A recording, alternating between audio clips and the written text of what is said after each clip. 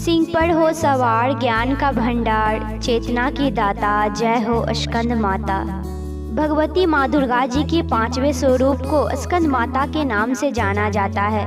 भगवान स्कंद कुमार कार्तिकेय के माता होने के कारण माँ दुर्गा जी के इस पाँचवें स्वरूप को स्कंद माता के नाम से जाना जाता है। स्कंद माता की पूजा करने से आत्मबल बढ़ता है। यह देवी ममता की मूर्त है और मन की कोमल भावों की शक्ति बढ़ाने के लिए प्रेरित करती है। चेतना निर्माण करती भक्ति देती, ज्ञान देती शक्ति का। चेतना निर्माण करती, भक्ति देती, ज्ञान देती, शक्ति का वरदान देती है स्कंद माता।